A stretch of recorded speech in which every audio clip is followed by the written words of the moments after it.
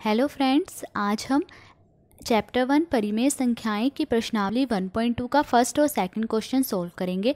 तो first question है, निम्नलिखित संख्याओं को संख्या रेखा पर निरूपित कीजिए। हमें जो है, इन दो संख्याओं को जो है, संख्या रेखा पर निरूपित करना है। तो पहले जो है, मैं एक संख्या रेखा बना लेती हूँ। तो देखिए, मैंने एक संख्या रेखा ली। और इसमें जो है समान दूरी पर जो है निशान लगाए हैं। तो आप भी जब संख्या रेखा बनाएँगे तो आपने जो है इन पे जो है समान दूरी से पे, पे जो है निशान लगा देना है। ठीक है? अब देखिए सात बटे चार एक धनात्मक परिमेय संख्या है। धनात्मक मतलब प्लस की जो है परिमेय संख्या है।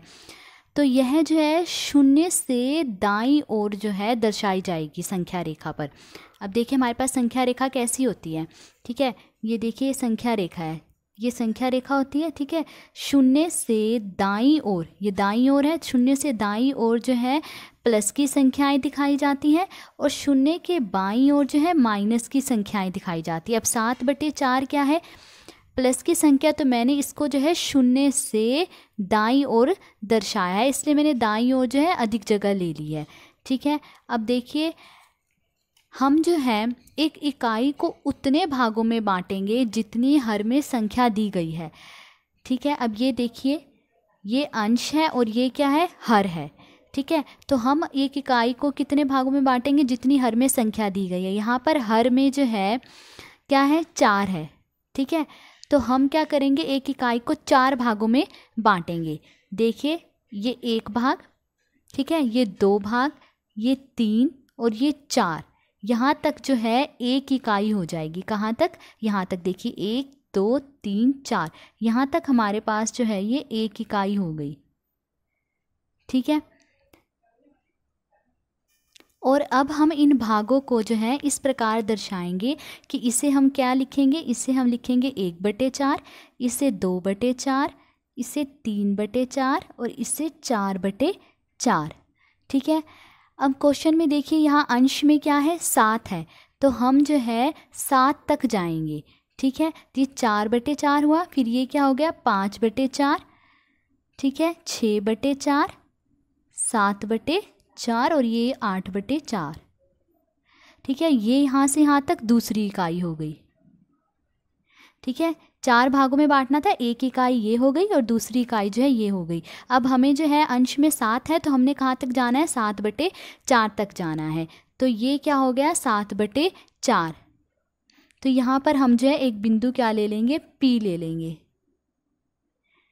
तो ये जो बिंदु P है, वो संख्या रेखा पर सात बटे चार को क्या करेगा? निरूपित करेगा, निरूपित या दर्शाएगा।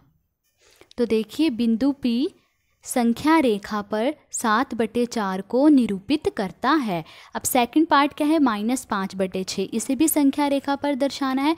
तो हम पहले एक संख्या रेखा बना लेते हैं। तो देखिए, मैंने एक संख्या रेखा ली और इसमें जो है, समान दूरी पर मैंने क्या कर दिए? निशान लगा दिए। अब देखिए, पाँच बटे छः क्या है? एक ऋणात्मक परिमेय संख्या इसके साथ माइनस लगा है ना? तो माइनस ऋणात्मक मतलब माइनस जो है, ये परिमेय संख्या है। तो यह जो है शून्य से संख्या रेखा पर यह शून्य से किस ओर दर्शाई जाएगी? बाई ओर जो है दर्शाई जाएगी। देखिए, ये हमारे पास संख्या रेखा होती है। ये हमने यहाँ पे शून्य लिया तो इसके बाई ओर, ठीक है? ये शून्य है, इसके बाई ओर जो है नेगेटिव मतलब कि ये ऋणात्मक जो है परिमेय संख्या दिखाई देगी, ठीक है? यहाँ दर्शाएँगे हम इसको। इसलिए मैंने जो है बाई ओर जो है जगह ज़्यादा ले ली है। अब देखिए क्या है? हम क्या करते हैं? एक इकाई को उतने भागों में बांटते हैं जितनी क्या है, हर में संख्या होती है। अब यहाँ हर में क्या है छः है। तो हम इसको एक इकाई को क्या करेंगे छः भागों में बांटेंगे। देखिए, एक भाग, दो भाग, तीन भाग हो गए ये, चार भाग, ये पाँच भाग और ये छः भाग। यहाँ तक क्या हो गए हैं एक इकाई हो गई हमारे पास। ठीक है, यहाँ तक हमारे पास क्या हो गई? एक इकाई। अब यहाँ पे माइनस माइनस में है तो यहाँ पे क्या होगा? माइनस एक। बाई ओर है ना यहाँ तो यहाँ क्या होगा? माइनस एक। तो ये हमारे पास क्या हो गई? एक इकाई हो गई। ठीक है, अब देखिए। अब तो अब ये हमने जो है छः भागों में बांट लिए।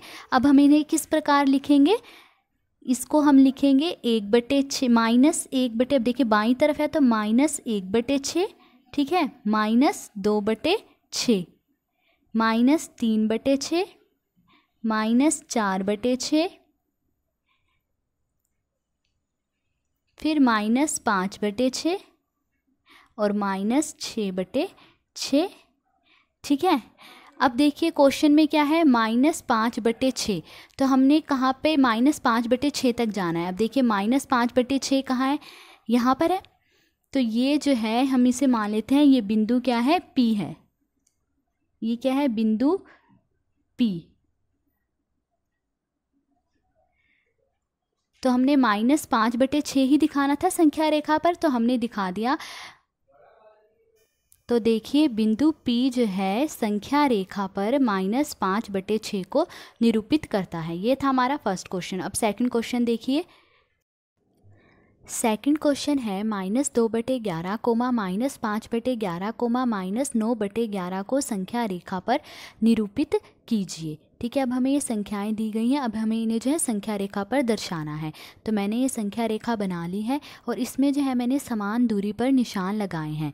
ठीक है, अब देखिए जो हमें संख्याएँ दी गई हैं, वो क्या है? माइनस में है। तो हम जो है इन्हें संख्या रेखा से किस ओर दर्शाएँगे? बाई ओर दर्शाएँगे। देखिए ये संख्या रेखा है ठीक है, संख्या रेखा पर बाई ओर जो है, माइनस की संख्याएँ दर्शाई जाती हैं तो हमने जो है, बाई ओर जो है मैंने ज़्यादा जगह ले ली है, ठीक है? इस तरफ़ दर्शानी है मैंने ये संख्याएँ, बाई ओर तो इस तरफ़ मैंने जो है ज़्यादा जगह ले ली है। हम जो है एक इकाई को उतने भागों में बांटते हैं जितनी हर में संख्या दी गई है। अब देखिए, इनके हर में क्या संख्या इसके में भी ग्यारह है, ग्यारह और ग्यारह है। तो अब हम एक इकाई को कितने भागों में बांट लेंगे? ग्यारह भागों में बांट लेंगे। तो ठीक है, इनको अब हम ग्यारह भागों में बांटते हैं। तो ये एक भाग हो गया, ये दो, ये तीन, ये चार, ये पाँच, छ, सात, आठ, नौ, दस, ग्यारह। हमने क्या है इसे एक इकाई को ग्यारह भागों में बांट लिया है। तो ज़ीरो से माइनस एक तक जो है ये एक इकाई हो गई। बाई हो रहा है तो यहाँ पे क्या आएगा? माइनस एक आएगा।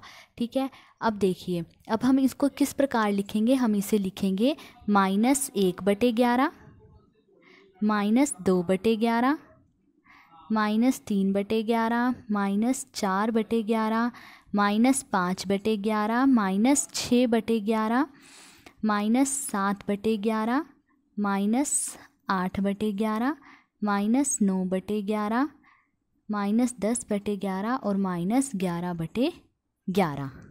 ठीक है, अब देखिए। अब हमें क्या दिखाना है? इस संख्या रेखा पर माइनस दो बटे ग्यारह दर्शाना है। तो माइनस दो बटे ग्यारह कहाँ है? यहाँ पर है। तो मान लीजिए बिंदु पी जो है, संख्या रेखा पर माइनस दो बटे ग्यारह को दर्शा रहा है। मान लीजिए हमने बिंदु पी ले लिया, वो क्या है? संख्या रेखा पर माइनस दो बटे ग्यारह को दर्शा रहा है। आप कोई भी बिंदु ले लीजिए, आप चाहे ए बी सी कोई भी बिंदु ले लीजिए, ठीक है? तो बिंदु पी माइनस दो बटे ग्यारह को दर्शा रहा है। फिर है माइनस पाँच बटे ग्यारह। माइनस पाँच बटे ग्यारह का है? यहाँ पे। तो इसे आप ले लीजिए बिंदु क्यू तो बिंदु क्यू जो है, संख्या रेखा पर माइनस पाँच बटे ग्यारह को दर्शा रहा है। फिर माइनस नौ बटे ग्यारह। माइनस नौ बटे ग्यारह कहाँ है यहाँ पे? तो ये क्या हो गया? इसे मान लीजिए आप बिंदु आर मान लीजिए। तो बिंदु आर जो है संख्या रेखा पर माइनस नौ बटे ग्यारह को दर्शा रहा है। तो बिंदु पी क्यू और आर संख्या रेखा पर क्रमशः माइनस दो बटे ग्यारह, माइनस पाँच बटे ग्यारह और माइनस नौ बटे ग्यारह को निरूपित करते हैं। मैंने पी क्यू और आर लिया, आप कोई भी ले लीजिए, आप ए बी सी डी इनमें से कोई सा भी नाम जो है इन बिंदुओं को दे सकते हैं। तो आज हमने क्वेश्चन वन और क्वेश्चन टू की सोल्व किया। अगर आपको वीडियो पसंद आई हो तो please like share and subscribe thank you